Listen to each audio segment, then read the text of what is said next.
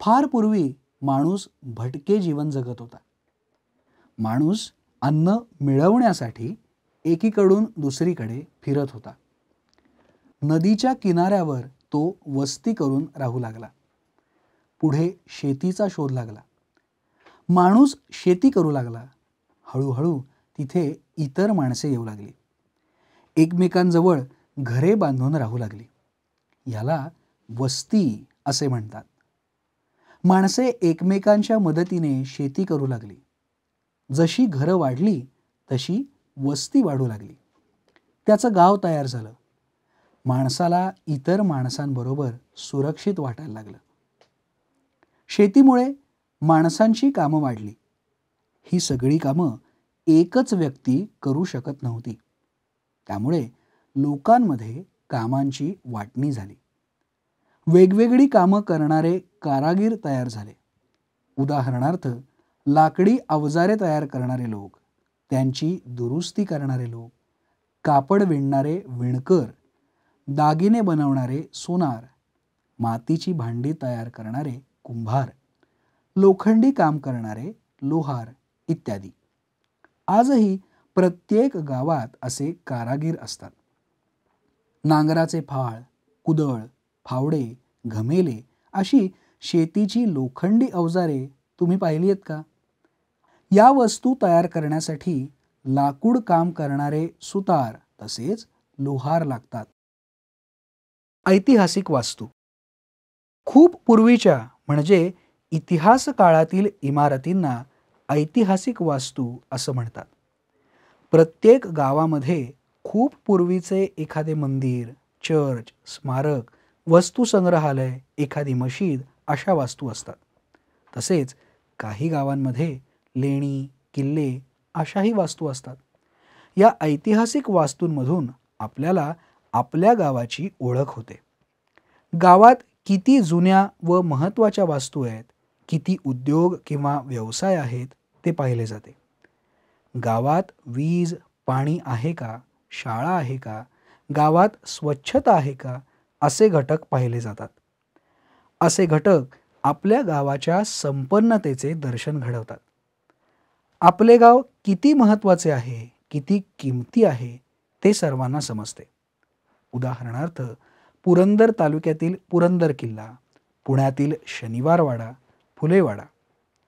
या वास्तू हा मौल्यवान ठेवा आहे.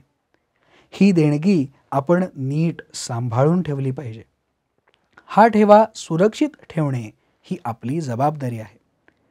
गावाचा उरूस जत्रा एखादे धार्मिक स्थळ किल्ला यामुळे गावाचे नाव प्रसिद्ध होते.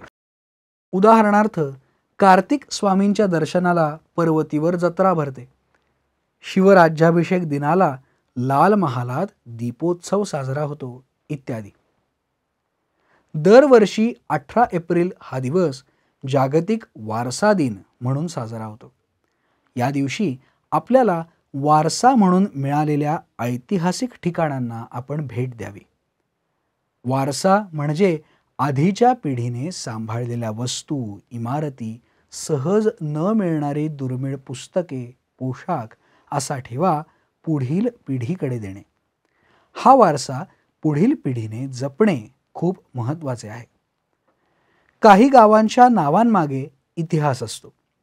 एखाद्या प्रसंगावरून त्या त्या ठिकाणाला विशिष्ट नाव मिळते.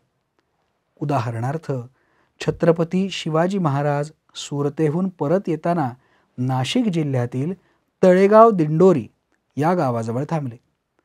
तिथे त्यांनी आपल्या सैन्याचा तळ ठोकला तिथे त्यांचे सैन्य थांबले त्यामुळे त्या गावाला तळेगाव असे नाव मिळाले.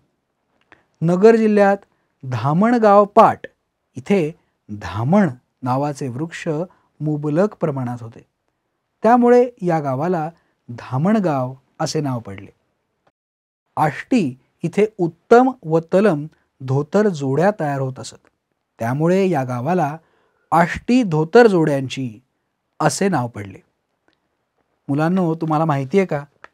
एखादा किल्ला एखादी जुनी वास्तू याप्रमाणे गावाला मोठेपणा मिळतो. तसाच गावातील माणसांमुळे व त्यांच्या महत्त्वाच्या कार्यामुळे गावाचे नाव होते. उदाहरणार्थ शिवराम हरी राजगुरू हे स्वातंत्र्य चळवळीतील प्रमुख क्रांतिकारक होते. आपला देश स्वतंत्र करण्यासाठी त्यांनी मोठा लढा दिला. त्यांनी देशासाठी देह ठेवला. त्यांची स्मृती म्हणून त्यांच्या खेड या जन्मगावाचे नाव राजगुरुनगर असे केले आहे. कविता राऊत हिने दहा किलोमीटर धावण्याच्या स्पर्धेत विक्रम करत राष्ट्रीय पदक मिळवले. नाशिक जिल्ह्यातील सावरगाव हे तिचे गाव त्यामुळे प्रसिद्ध झाले. संत गाडगे महाराजांनी कीर्तनांद्वारे लोकजागृती केली.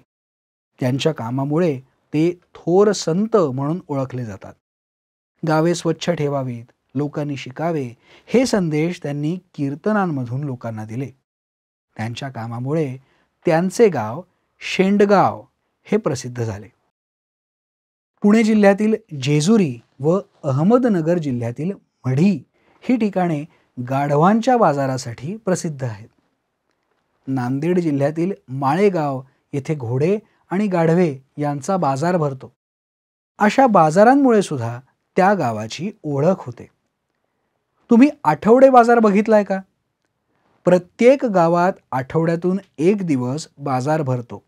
त्याला आठवडे बाजार असं म्हणतात. दैनंदिन म्हणजे रोजच्या गरजा भागवण्यासाठी गावातील लोक आठवडे बाजारात जातात. आपल्याला हव्या असलेल्या वस्तू खरेदी करतात. यात अन्नधान्य भाजीपाला शेतीची अवजारे कपडे अशा सर्व वस्तू मिळतात. बाजाराच्या निमित्ताने गावातील इतर लोकांचीही भेट होते. सारांश. फार पूर्वी माणूस भटके जीवन जगत होता. पुढे शेतीचा शोध लागला. माणूस नदीकाठी राहू लागला. तेथील वस्ती वाढत गेली. हळूहळू गाव तयार झाले. शेतीमुळे माणसांची कामं वाढली. वेगवेगळी कामे करणारे कारागीर तयार झाले. प्रत्येक गावात असे कारागीर असतात. प्रत्येक गावामध्ये खूप पूर्वीचे एखादे मंदिर चर्च स्मारक वस्तुसंग्रहालय एखादी मशीद अशा वास्तू असतात. हा ऐतिहासिक वारसा आहे. आपण तो जतन केला पाहिजे. अठरा एप्रिल हा जागतिक वारसा दिन म्हणून साजरा केला जातो. काही गावांच्या नावामागे इतिहास असतो. एखाद्या प्रसंगावरून त्या त्या ठिकाणाला विशिष्ट नाव मिळते. गावातील माणसांमुळे व त्यांच्या महत्त्वाच्या कार्यामुळे गावाचे नाव होते. विशिष्ट प्रकारच्या बाजारांमुळे सुद्धा त्या गावाची ओळख होते. प्रत्येक गावात आठवडे बाजार भरतो. लोक आपल्या गरजेच्या वस्तू तिथे खरेदी करतात. पारिभाषिक शब्द. वस्ती. ऐतिहासिक वास्तू. वारसा. जत्रा. उरूस क्रांतिकारक लोकजागृती आठवडे बाजार. स्वाध्याय. कोण कोठे किंवा काय त्याचे नाव लिहा. या पाठातील क्रांतिकारक. दहा किलोमीटर धावण्याच्या स्पर्धेत विक्रम करत राष्ट्रीय पदक मिळवणारी. धोतर जोड्यांसाठी प्रसिद्ध असलेले गाव. आठवड्यातून एक दिवस गावात भरणारा बाजार. पुढील ठिकाणे कशासाठी प्रसिद्ध आहेत ते लिहा. सावरगाव शेंडगाव मढी धामणगाव तळेगाव.